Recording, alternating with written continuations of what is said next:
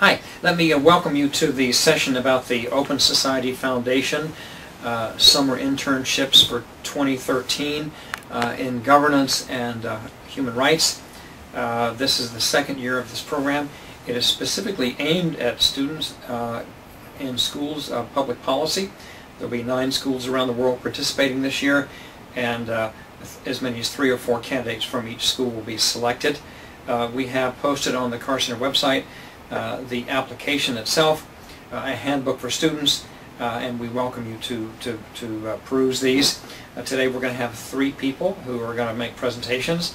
two are students who participated last summer, Divya and Kavitha, and then Doug Johnson, who along with his wife Kathryn Sikkink uh, were the primary faculty. Uh, we'll give a little bit of an overview of their perspective of the two-week intensive didactic session, that is a teaching session uh, held in Budapest um, to begin. That'll be from June 13th to June 25th this summer. Uh, and following that two-week intensive, the students will then serve internships from six to eight weeks long at any of about 40 NGOs that have identified and agreed to accept students uh, with agreements from OSF. Uh, you can also suggest your own NGO uh, and if selected, OSF will try to work out an agreement uh, for your mentorship uh, in that NGO. The applications will be due uh, at the uh, midnight on uh, Friday, November 15th, so please stick to that deadline. you'll be notified if you're selected for the process sometime in January, so that hopefully there's time to make appropriate plans for this great opportunity. We encourage you to uh, uh, seek out any questions that aren't answered uh, in the materials on the website from any of our Carr Center staff. Thanks so much. This internship is really a great opportunity because if your idea of an internship is a lot of fun and partying, gone ahead. Anyway, if it's, if it's a lot of fun and partying, you saw the pictures, the first one that was there and if it's also a lot of serious work that you want to do in your chosen area of field that interests you, and if you would like to meet leading human rights activists from across, across the world, some of the best professors, and at the same time get an experience where you get to know fellow activists from other parts of the world, then this is the internship Now, when I applied for the internship, I had no idea the kind of people I'd get to meet, like Doug, and also Soros, as you can see here in the picture. He came himself, George Soros, for the internship. He spent a day with us, part of it sharing his stories, part of it with the professors, and also we had a Q&A session where we could interact with him and ask questions about what the Soros Foundation does, what the Open Society does, what are the organizations that they fund across the world, what kind of work they do, and what do they see as the future ahead. And uh, through their insights, we can see Doug there as well. And um, that's Christoph who heads uh, Open Society's uh, program in Budapest. And that's Lenny who heads Open Society's program and is based in New York. And everybody came down and that's the uh, seriousness with which they uh, hold this seminar and the internship program so that you get an idea about it. I hope the slides work, yeah. Okay. So the Open Society, the mission is um, to strengthen the rule of law and to uh, build vibrant democracies and to also work on human rights issues for marginalized communities. And if you're interested in any of these areas or genres as your public uh, policy focus area, then um, this is a wonderful opportunity for you because how it works is, so how the internship is structured is that it's 10 days seminar in Budapest. I don't know if they've made it two weeks this year, but you could it's 10 days in Budapest, and then it's followed by six to eight weeks of an internship with a policy or rights-based uh, nonprofit organization. So um, what I said in terms of you could choose what you want to do is your policy area of focus. So if you're interested in, in child rights or children's rights or disability rights, your LGBT rights, or you want to have democracy strengthened, any of these policy areas, what is your passion, you could choose your policy area of focus and you could structure what you want to do through the internship in your policy area of focus. And then you can apply for the NGO that you choose to work with. More often than not that you do get your choice of NGO. Both of us got our choice of NGOs and it's a matching process. The NGO has to like your application, it has to fit in with what they want to do. And then if that works out, then you get exactly an internship that you self-design for yourself. So that's the best part about the internship. Um, the visa is part of the student's responsibility. You're responsible to get the visas, whereas the Open Society facilitates and reimburses all costs, but you're supposed to find out, let's say you want to go and work in Bulgaria or Burma or Indonesia, then you figure out how to get the visa. They will help you with all of that. And uh, the best part about the internship is that the stipend covers all your costs for the internship. So um, this, uh, the mission of Open Society through this internship is that most of us really want to work on pressing issues that affect people, but um, human rights activists most often do not have the funds or the resources to actually choose what they want to do, and a lot of us go into banking or private equity because we don't have the funds to do it, and Open Society wants to help us do what we really care about by making it possible for us. So that's in a sense, um, the internship.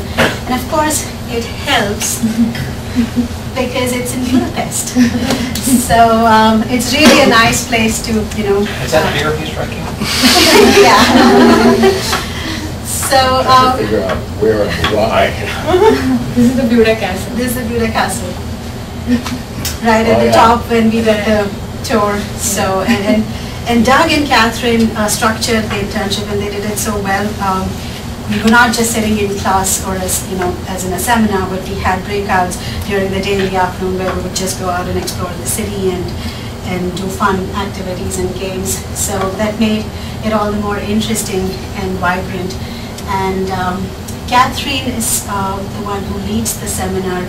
Uh, she's the one who structures it. She's one of the leading human rights uh, professors, and Doug is uh, one of the leading human rights activists. Uh, Doug uh, took on um, Nestle uh, for its sale of baby instant food in Africa, and, and he led a, a national movement in the US which again spread globally, and he does share a lot of the strategic tactics of how to go about doing a movement. And uh, I'd hand it over to Divya to now Yeah. talk more. Yeah, I think Kavitha has covered most of it, but just wanted to mention uh, like the faculty and the resource persons whom we have, um, whom we have an opportunity to interact so closely because we, um, eh, like the schedule was pretty rigorous, so we ended up spending like most part of the day uh, with the faculty around, even on fun trips. Uh, we had like dinners every day um, in which we could just sit with them and chat with them about the work that they have done in the past and uh, had uh, initiated this wonderful um, uh, wonderful series of personal narratives uh, which is a which is a framework that's taught uh, in, at the Kennedy School by Professor Marshall Ganz. So that was um, and, and the wonderful thing that I felt was that um, even the faculty had to do it. So so every night during dinner we would have each of the faculty and the resource persons talking to us about their own personal journey through this uh, uh, uh, in the human rights field and what are the issues that they care so passionately about and what is it in their own personal backgrounds that has contributed to this journey. So that was like a great opportunity as far as I was concerned to really get to know people, like their motivations, their passions, and then and then it also helps you in and it was a very diverse set of faculty. For example, uh, in the previous photo with Catherine, there was Dan Large. He, he, um, he his focus area is on the rising powers um, uh, like India, China. Um, he works a lot in Africa. There was Sanjeev Khagram who uh, works a lot on transparency issues. Then um, there was Catherine, another uh, a second Catherine who had experience with UN. Um, um, um, there was a professor from Argentina who was um, Catalina. She had also um, uh, had a lot of experience in working with judicial activism. So it was really like um, a, a wonderful set of faculty and resource persons who um, who had so much experience uh, and insight into how to how to really take this on as a career um, uh, um, and, and, and, and work effectively towards on these issues. Um, and then there was a series of um, mentorship. Uh, this is this is an exercise that uh, Doug had uh, uh, initiated in class in which we were trying to all, uh, um, I think, roll No, over the shouldn't. blanket. Oh, I shouldn't divide a budget. Okay. yeah, but um, uh, yeah, uh, so there was a series of mentorship um, initiatives um, that we were part of, so we could um, um, engage more closely with each of the faculty depending on our areas of interest, and then they would guide us in the projects that, like the self-design project that we had taken on that um, Kavitha just mentioned. So, so that was also really useful in structuring, um, like giving a, a like a kind of structure to your own ideas and uh, and think through uh, like what are some frameworks that you could use in analyzing these issues. Um, Yeah.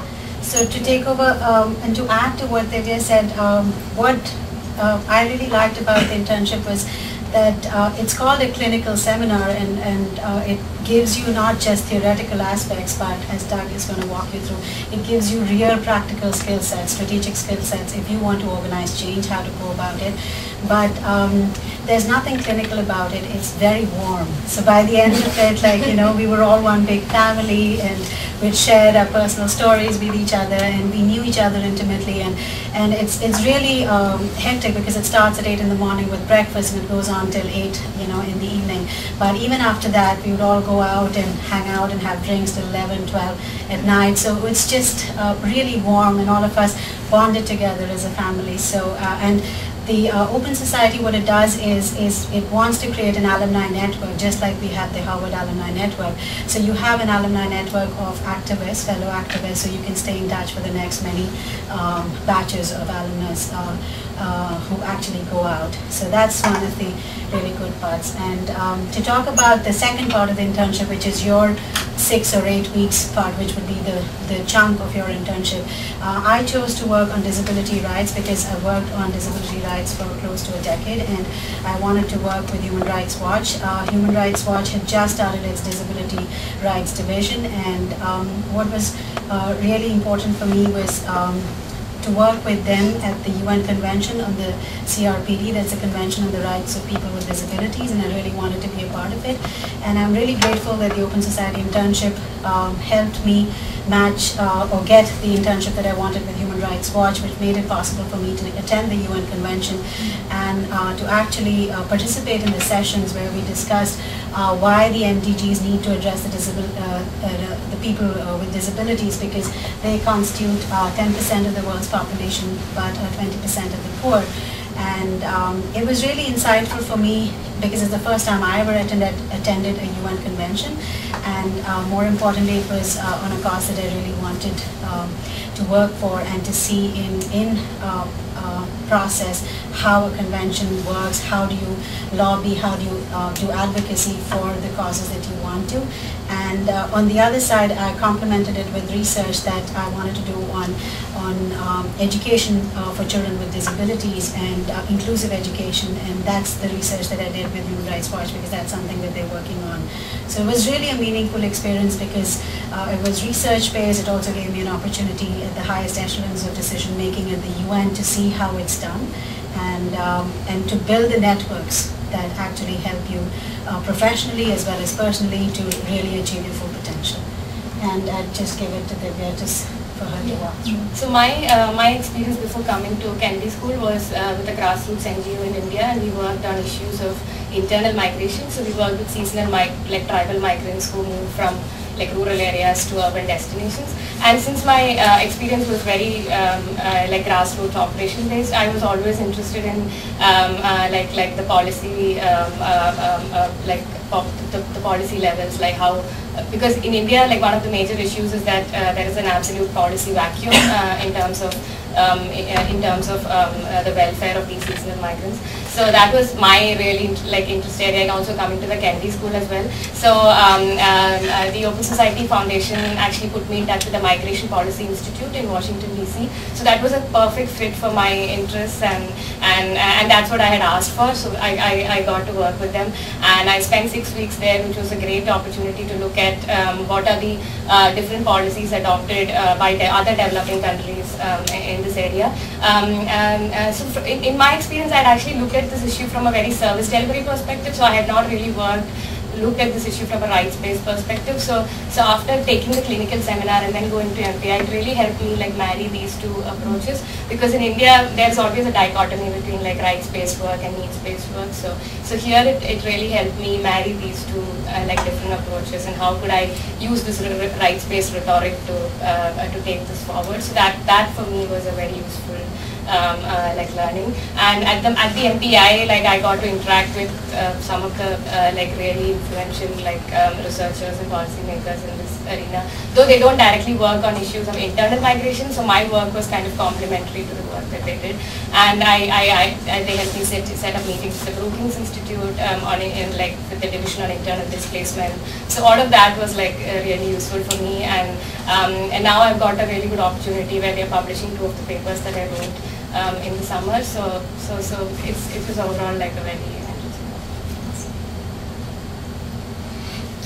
Would you say something about, uh, did you, where the other students were from and Yeah. what you learned from? from Yeah, them? so the other students uh, uh, were from um, different parts of the world. So there were, uh, I think, six universities where we were from. Um, um, uh, the uh, like Oxford, uh, Harvard Kennedy School. Um, there was one student from the Harvard uh, Law School. Um, then San Sciences Po in in Paris. Um, uh, from Argentina, we had two students. And from OP Jindal University, New Delhi. So it was like a completely diverse and international crowd and we had students from Africa, China, yeah, we had two students from Chinese universities as well. So um, basically like Africa, China, Canada, Australia, India. Uh, so it was like a, a, a truly diverse group of people who had worked on very diverse issues as well. So all that really enriched our discussion. Uh, and one thing that, I, that we missed out saying earlier was uh, Chris Stone, who heads Open Society Foundation, was also actually there. He, he used to head the Hauser Center here, so he had also come down. And that was one of the interactions that was personally like very insightful. Kathryn Sikkink uh, and I are co-directors of this program.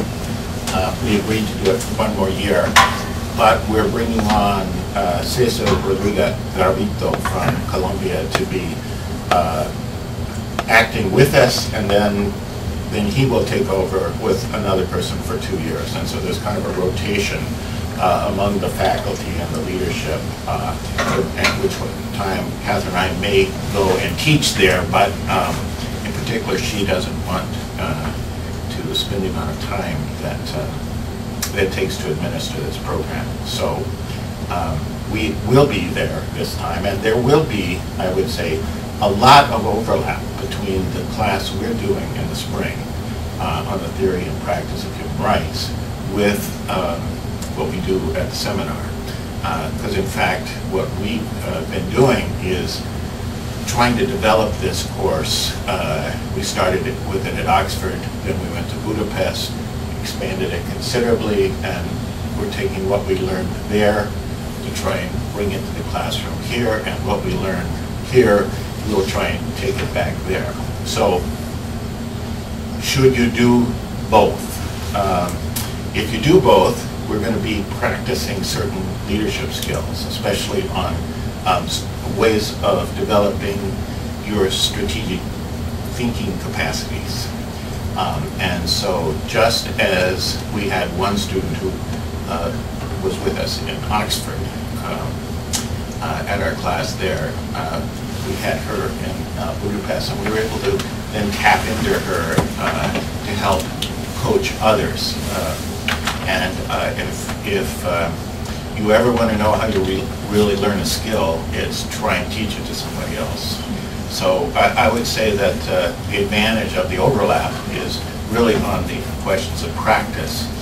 And then to recognize that the, that trying to integrate good social science research into how you think about your practice is a difficult thing.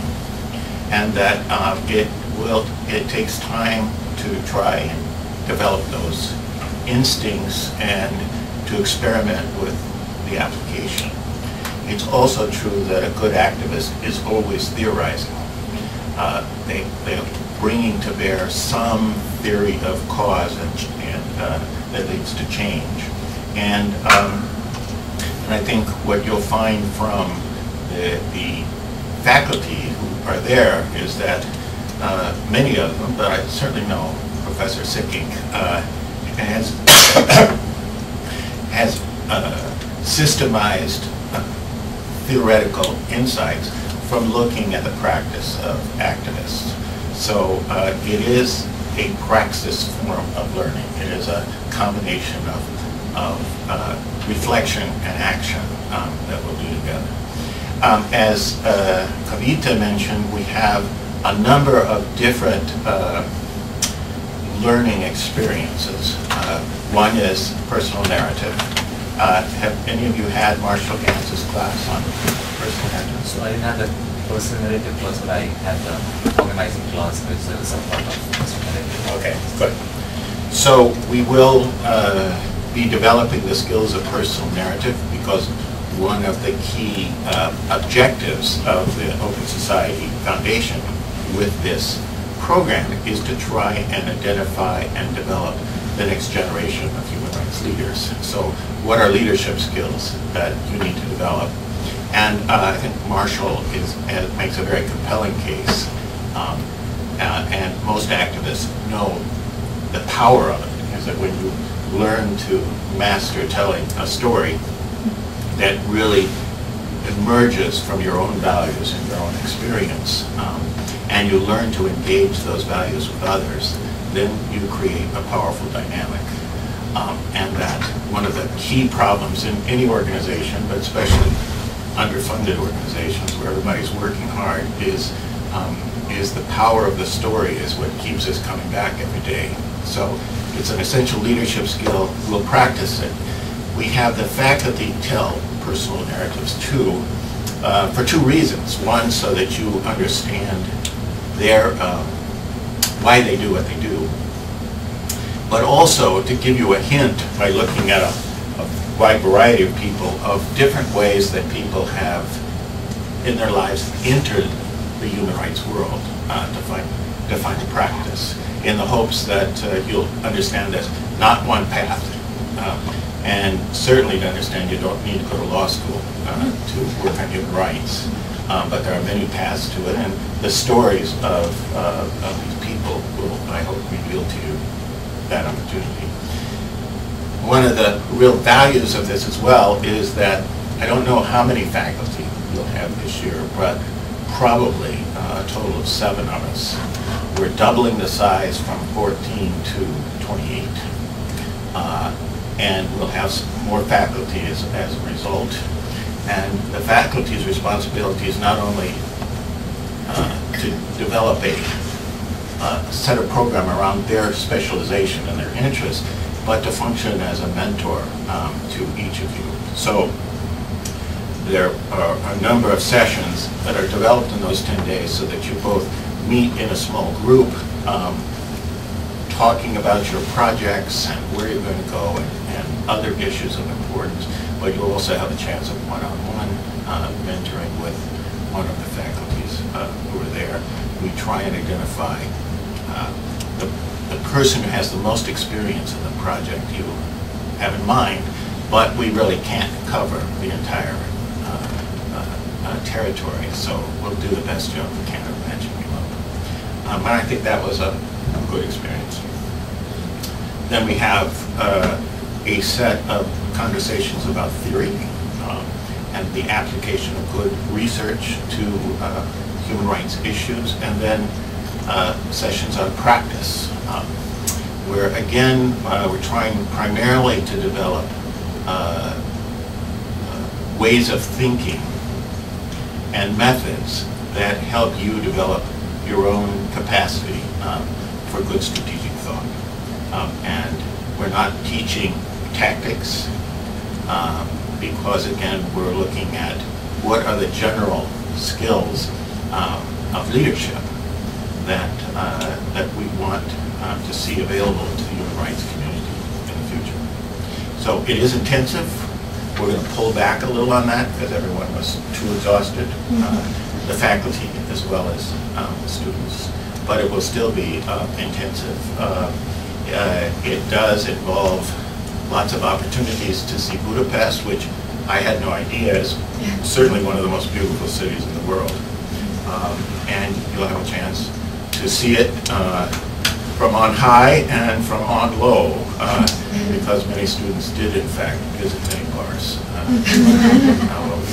So, let me just uh, stop and then have a chance for you all to, uh, to talk with each other about the project. Um, So I had interest in, um, um, is it open to graduating students as in, now? is, uh, um, is it uh, restricted to people who are in the middle of the course or because I'm graduating in May and I would like to, I'd like to apply for it, is it open? It, it was intended to be uh, between first and second year. Uh, But there were some exceptions to that rule, as uh, Kavitha said, uh, somehow a graduate from the law school snuck in. So uh, what this means is that uh, we will, we will interview people who we think, uh, and and forward the names who we think would be the best students and uh, who would add the most, but also who have real leadership potential. And then Open Society will uh, actually do the interview, and they make the final, uh, uh, the final uh, selection from each school. So I would say you're not precluded, given what I see as the, as the habits of the past. Uh, But the hope is that, uh, especially by targeting people in their first year, that um, they'll come back, they will have learned something from their organization, but hopefully you will negotiate with them on something that would be helpful to them in the future, such as uh, a research project um, that you can come and engage your fellow students with, or that you could use for your PAE. Um, So what we hope to do is allow you, uh, encourage you to develop a relationship with the organization and think how you pay them back, uh, if you will, by, uh, by doing something useful. For every organization, it's a very expensive process of taking on an internship. You're not free labor, you're, uh, because you're going to have a mentor at, at the organization. Um, And that takes time away from their busy schedules. Uh, But they've all agreed to do that. And I'm sure some do it better than others. Um, But um, I, I also want to underscore that one of the reasons that Kathryn and I agreed to take this on was precisely because it was aimed at public policy students rather than law students. Um, We love lawyers, but I actually think they do a really good job uh, at the many human rights centers and law schools around the world. Uh, And they're producing uh, as many uh, lawyers as we we can actually put to work, I think, in the world. Um, But the what the neglected is the development of uh, other capacities that are needed to make a change in human rights. So uh, that's why they're focusing on the public policy schools and why uh, we agreed to be part of it. So I actually, I asked the uh, program officer at OSF, was this open to, for instance, mid-careers who were just here for a year? And he said absolutely, so I think you're all covered. About what? About undergraduates even, I mean, it's what he said in the conversation. I, yeah, I don't think it's appropriate for undergrads. It's going to be um, a tougher uh, pull than that. Last question, which is, uh, uh, any thoughts and insights on the presidential fellowship, um, Open Society? Did you get? Actually, the, the student from law school who had come in, she was actually going on to the presidential fellowship. So that's why she, though she was a graduate, she came in because it was sort of an immersion process for her into Open Society. So sort of bridged uh, joining the Open Society. So you apply for both if you want to do both. uh, But you won't be, uh, we all agreed that that was a mistake uh, for her to uh, take in both positions. So uh, if you do apply for both, then you'll have to select which one you want.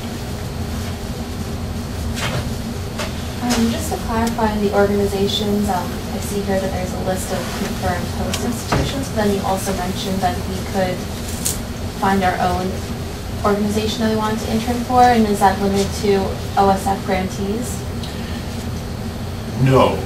Uh, The advantage of the OSF uh, funded organization is that OSF has the leverage to get them to be serious about the mentorship uh, uh, and using the resources. And uh, they they compensate them uh, some for that. Um, So uh, do you have a particular organization that you're interested in working with? Um, it's, I, not, I, there are a few of the, that, um, that have to research it more. I also, I mean, I also haven't heard of most of these um, institutions listed here, so I'd like to see more about what they do as well. Yeah, They were really attempting to especially uh, get into various levels, Yeah. including groups that work on the grassroots and Mhm. and various parts of the world to give a, you know, a- an interesting set of Mhm. choices uh, for you. Um, Yeah. And, and one of the advantages of OSF is it probably funds more broadly Mhm. and deeply than any other uh, funder in the field. But they are open to it if you have uh, an agreed internship with Mhm. someone else, and then they would try and also not intervene, but uh, work with that institution to make sure that, uh, that they were going to be able to Mhm. provide uh, mentoring and serious work for you, Mhm. rather than Okay. copying or Yeah. stealing. So you guys both seem like you have pretty deep experience in, in the areas that you ended up focusing on prior to, you know, prior to the um, internship, you actually already had a lot of experience within that area. Um, So can you speak towards like how people generally, you know, did people generally go with something that they already knew, you know, had a lot of experience in? Um, Or did some people sort of switch into something new and how people would actually choose that? So I thought it was a very diverse group. So some people came in with a lot of experience, and some people had some experience and wanted to work in a particular field and so wanted to be at the seminar. So we had a wide diversity, and uh, but I would still say um, it, it leaned more heavily on on the side of people coming with a lot of experience in the areas that they've already worked in, and and that's why the seminar was so much more interesting because they brought that to the table and everybody shared that, and the learning was from the mutual learning that everybody brought in. Like Divya shared a lot about migration, so I stand educated about that. I shared a lot about disability, and so so it was also about educating fellow people. So it it adds. Uh, if you are bringing in that experience to the seminar and it makes it more uh, lively and uh, full of learning for students. At the same time, it also adds if someone is fresh and brings in a fresh pair of perspectives. So we had a few students who were really outstanding and brilliant but were young but wanted to take on. So, so I would say 90-10. That's, Uh, They all had some level of experience, Experience. but uh, particularly the two students from Blavatnik were probably the youngest. uh, uh, And uh, unfortunately, probably both of them have decided to go to law school. Uh, But, uh, but most of the others, well, that's not true. The Chinese students, Yeah. both were engaged with NGO work. uh, They brought in home. experience, They but brought in not experience, but they also were relatively young. Yeah. Uh, And I think the, the issues that they, the Chinese students took on were also new. Uh, it was not something that they had already worked. Like one of them was working on transparency issues, and uh, the other was looking at like funding and uh, funding of NGOs and. So, so these were not exactly the one the issues that they had worked on earlier, but they were interested in doing it. And they also brought in, uh, you know, different perspectives because Open Society looks at, I mean, uh, Soros founded it to help uh, countries transition away from communism.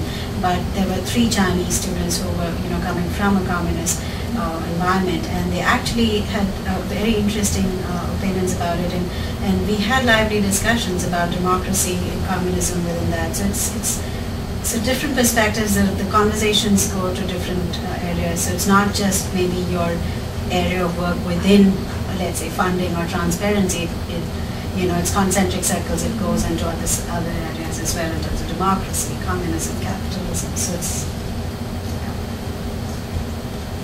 I have a question. So you guys both did research as part of your guys' your internships. Um, is that pretty consistent across all the?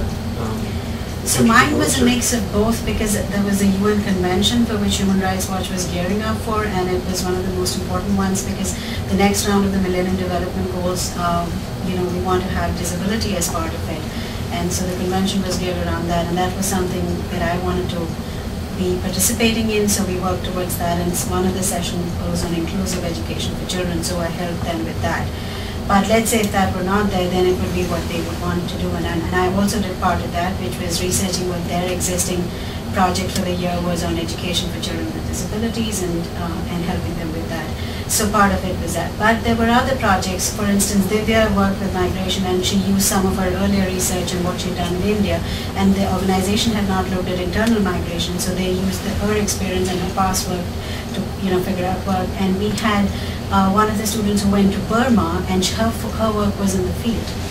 So it's, it's, it was not at, um, so the more you, so for us, we worked in the US, we worked on th- in, in think tanks and advocacy groups, our work was sort of different, but a lot of people chose to go out in Africa, in Burma, and there you're actually working in the field. So that is probably not research, you'll be engaging you know. So, um, so the student who went to Burma actually was planning to go and sit in, and she was working on the law system and the judicial reform there. So she was planning to go and sit in the courts and, and figure out how the judicial system works. And one of the students went to Africa, and she also had a lot of field work. So, so it depends how you want to customize your internship, where you want to go, what kind of project, and the NGO and what they want to do. So it's everything has to fit into it. Yeah, the group went to, uh, one of the Indian girls was there she went to, she was in Poland and she interacted with a lot of elected women representatives in, in Poland and then she hoped to take that, take those learnings back to India. So, so that was also like a cross-cultural, like kind of a learning. So yeah, I think it's really like self-designed. If you want to engage in field study, I think there's ample scope for that. But um, because uh, both of us already had some kind of like uh, field experience before, so we, we wanted to focus on more like research and policy, but I don't think that's like a precondition for designing. You know. Did you have any like prior interaction with the organization itself Yeah. um, before you applied? Yeah, uh, not not before I applied, but I had looked them up online because this was my interest area, and when and I I understood that OSF was funding uh, them, so I, I though my organization was not in the initial roster, so I had asked them separately whether uh, this would be possible because I knew that they were a grant. Uh, so then OSF matched me, and then after that we had like interactions with our mentor in the organization and kind of developing the project and, and what would be the contours that they would be interested in, what would be the overlaps. Yeah, and for me, I, I wanted to work with Human Rights Watch even before the OSF internship may came out. I was, but then that came up, so it was um, through the OSF that I applied to Human Rights Watch. So, and Human Rights Watch is funded by OSF, so it just was a perfect fit. And then um, once the selection process was over, then I was in touch with them, and so it was easy because it was on the list of um, NGOs that you could apply to, so it fitted with what I wanted to do.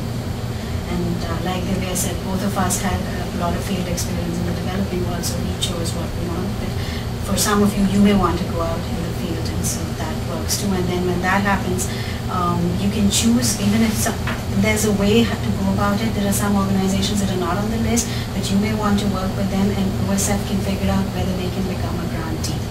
And then that's a process that you need to figure out before the application process by, you know, figuring out how that, so that is some bit of liaising that you would have to do to figure it out. I don't think that has to happen though before the application, especially because the application is due in 30 days. Okay. Two weeks, I think. I thought it was the end of November. The, uh, we have to November 15th. s- submit our recommendations to them by the end of November, but it looks like they want your applications in by November 15th, so that's probably midnight on the 15th, uh, which is a Friday. So, uh, I think you could discuss in your application a particular interest in an organization and why you're interested, but, uh, in that organization. But that won't be the primary uh, make or break about your application. uh, But it'll be part of a negotiation. For example, as I look through the, um, the people who were in, who did come, the 14 people who came, uh, quite a number had listed Human Rights Watch as their, the choice of where they wanted to go, but Human Rights Watch would only take one person. Uh, And someone got uh, lucky or uh, was the right person at the right time because they want, they were starting something new, so they could see that having her background was going to be particularly useful to them. So uh, don't, uh, don't be flexible. Um, State what you're interested in and why. It's that why that will be important to SF, because as they evaluate your seriousness. Uh, But you might not get that organization, that organization might not agree to, to, to see you. Um, And there may be a better fit in OSF's mind uh, with another organization, given what you, the why of your interest. Doug, I have a question for you, since uh, they list seven participating institutions, that is nominating institutions, uh, and there are 28 slots, uh, I'm sorry, there's eight uh, participating institutions. Can we assume that there will be either three or four from each institution that are probably uh, selected?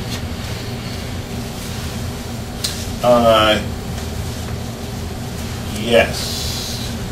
Um, Last year, they told us that they would take two, uh, but then they ended up taking three from Sciences Po and from Harvard. Um, So uh, I'm I'm sure we'll, well, they may decide that our candidates aren't, don't meet the mark of other groups, and they may only take one, uh, they may take two, or they may. Um, It really depends on what the final mix looks like. Uh, But, but they've added uh, two schools this year that weren't in last year, and they've subtracted one. So um, Di Tella from Argentina turned out not to be a really great fit because they actually didn't have a public policy school. Uh, And so we got two PhD students. uh, And, um, and I think they, well, they both had very interesting internships that were in line with what they wanted to do. But that was less in line with what uh, OSF wanted to do with this program. So they've added uh, the University of Pretoria in South Africa and uh, Universidad de los Andes from uh, Bogota, which is where um, uh, Cesar uh, teaches. Um, And so, uh, they- actually, they've also added another school uh, to this mix, which is the Central European University, which started its public policy school this year. So it's their first class. They're a co-sponsor of the event. So there's actually going to be nine schools uh, for 28 slots. So about three So about three. So I have a last question. Um, uh, Is it, uh, so, uh, so the kind of project you engage with, uh, can it be, does it need to be like, both of you guys put the thematic one of an internal migration slash, uh, so either it could be a constituency or it could be a, uh, can it also be uh, something which is institutionally cross, an institutional issue, for example? Is it, uh, so if I look at uh, institutional restructuring in a large scale human rights non-profit, can that be a focus and rather than a job constituency or a issue? Is is that possible? Uh, Yeah, I think uh, Chris, Krishna actually did something that, that Harvard Law School couldn't. She did something based on um, uh, the politics of like funding within human rights. You can. So that's like a good example, uh, the direction that you're suggesting. And then like this transparency thing that I was talking about that the Chinese student did. So all those are more institutional themes rather than like uh, thematic areas of development or human rights. It's practice itself. So I think I think that. As one of the people who was involved in making the selection, both here and there, I, I would say very much. Um, Again, because this is about trying to develop human rights leadership, and one thing that's really needed are, is, you know, a serious attention to um, the state and the management of our organizations. Um, And so I, I think that's well within the mark. In particular, if you have had an experience of one that really faltered and you indicate that that's, therefore, if you're very interested in this as a leadership problem.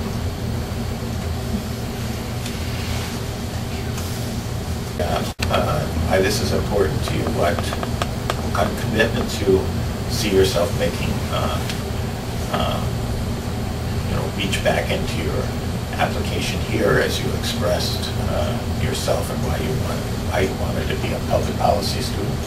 Um, And, um, and, and I think speak to the question of how you see the skills you're trying to develop here are applicable to uh, human rights or good governance uh, kinds of issues. Um, Kavitha, I think, mentioned that much of what we focused on, on uh, on governance had to do with questions of corruption um, and transparency. Um, uh, We may be doing bit more than that, but it is a democracy and governance, or a, it's a rights and governance program. All right, well, thank you all very much for coming. Thanks for the presentations Mike,